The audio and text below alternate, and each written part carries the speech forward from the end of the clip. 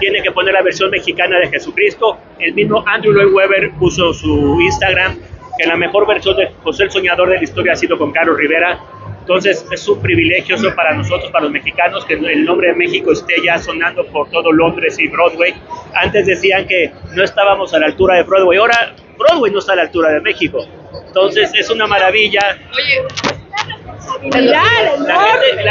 Los autores de Vaselina, uno que, que, que sigue vivo, vino a ver Vaselina y dijo que ha sido la mejor Vaselina de la historia.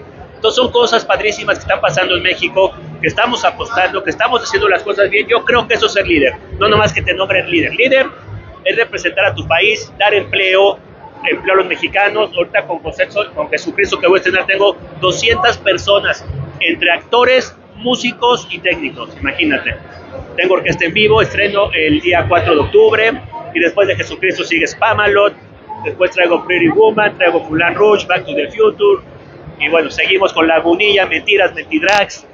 Entonces ahí estamos trabajando un poquito. Alejandro, ¿y cuál es el compromiso que tienes tú más fuerte como líder justamente en esta parte? Es eso, dar empleos a los mexicanos y que el nombre de México en teatro eh, salga a relucir por todo el mundo, de que en México están haciendo bien las cosas.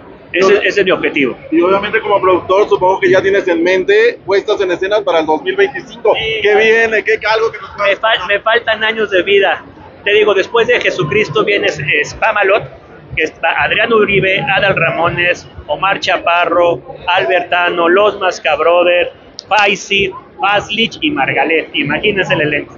¿Cómo le haces con esas nóminas? Porque todos los proyectos están de lujo. Pues apostando en grande para que el público vaya y solamente así. Y se puede vivir bien del teatro. Yo no más vivo del teatro, me arriesgo en grande y gano en grande o pierdo en grande. Pero si haces las cosas bien, ya eh, tengo, tengo un sello donde la gente sigue mis producciones y saben que hacemos cosas de calidad.